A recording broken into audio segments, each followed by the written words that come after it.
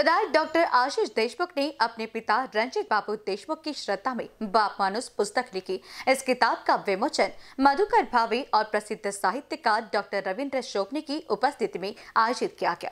कार्यक्रम की अध्यक्ष यशवंत राव चौहान, प्रतिष्ठान मंडल केंद्र की अध्यक्ष डॉक्टर गिरीश गांधी थी। तो पुस्तक विमोचन समारोह का आयोजन यशवंत राव चौहान, प्रतिष्ठान मंडल केंद्र नागपुर द्वारा किया गया था।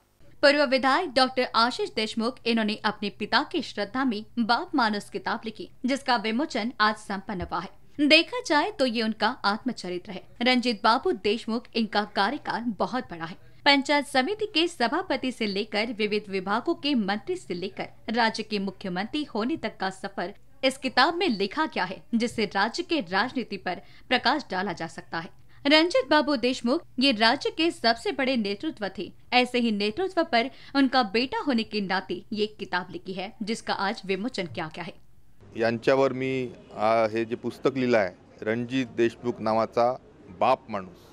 खऱ्या अर्थाने त्यांच्या जीवनाचं हे आत्मचरित्र आहे आणि त्यांनी लहानशा पंचायत समितीच्या सभापतीपासून ते विविध खात्याचे मंत्री काँग्रेसचे राज्याचे दोनदा प्रदेशाध्यक्ष आणि ह्या राज्याचं नेतृत्व मुख्यमंत्री होण्याचं त्यांचं जे स्वप्न आहे या सर्व संदर्भामध्ये मी याच्यामध्ये विविध विषयांवर उलगडा केला आहे. नक्कीच ह्या पुस्तकांच्या माध्यमातून या राज्याच्या राजकारणावर पुष्कळसा प्रकाश पडू शकेल आणि याच्यामध्ये जे काही लपलेलं आहे ते राज्यासमोर आलंच.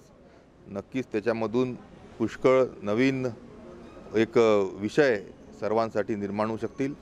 पण रणजितबाबू देशमुख हे विदर्भातलं काँग्रेसचं सर्वात मोठं जे नेतृत्व होतं, जे या राज्याच्या राजकारणावर अधिराज्य करत होतं, अशा या माणसांवर मुलगा मी जे पुस्तक लिहिलं आहे ते आज लोकांना अर्पित करतो आहे इस किताब का विमोचन मधुकर भावे, इनके हाथों, यशवंतराव चौहान प्रतिष्ठान के माध्यम से संपन्न हुआ है।